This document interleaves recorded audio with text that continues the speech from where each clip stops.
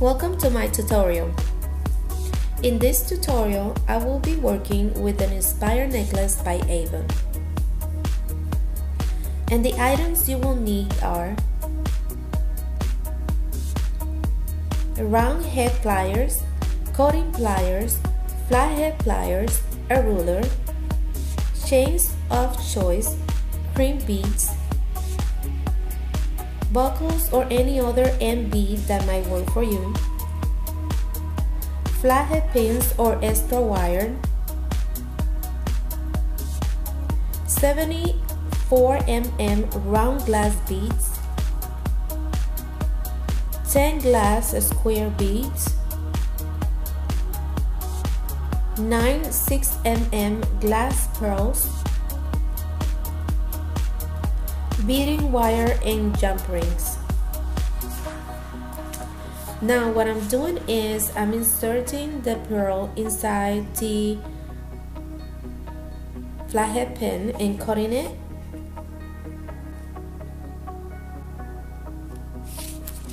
Now I'm making the hoops at least twice so it could be stronger. Continue to do this until you have all nine of them wired.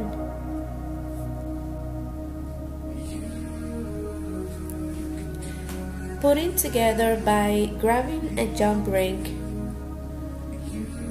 inserting in the hook and then do the same thing with the other and continue to do this until the nine, nine of them are hooked with jump rings.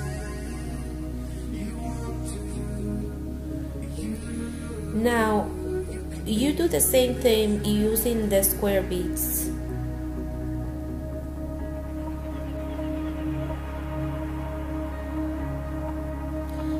Do this until you have five of the beads together and then do the same thing using the jump rings.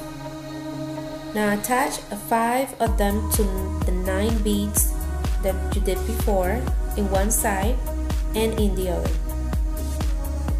Now what I'm doing is attaching the chains to the buckle using jump rings.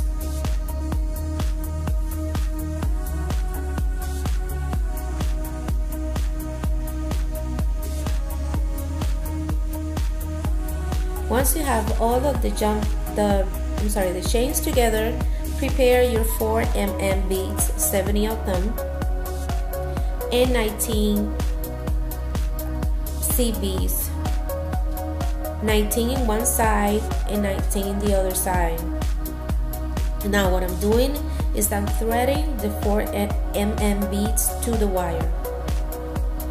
Once you finish just pass the wire through the buckle through the jump ring close the jump ring and cut the extra wire.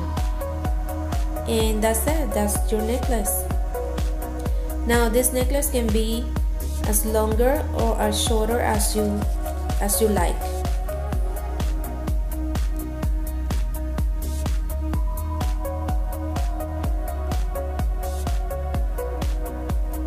Thanks for watching and don't forget to like, subscribe and comment. Bye bye.